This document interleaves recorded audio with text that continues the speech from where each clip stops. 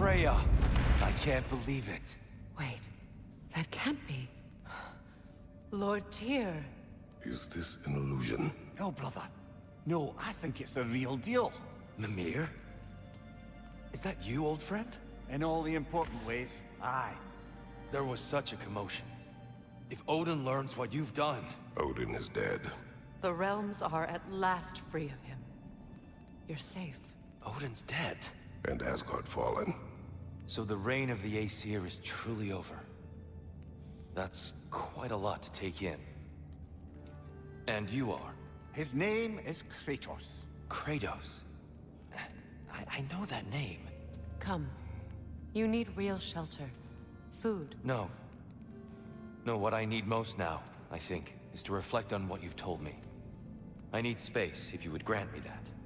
Very well. Our home is in the realm between realms for the moment. You can find us there when you're ready. Kratos. I know you from somewhere. I'm sure it will come back to me.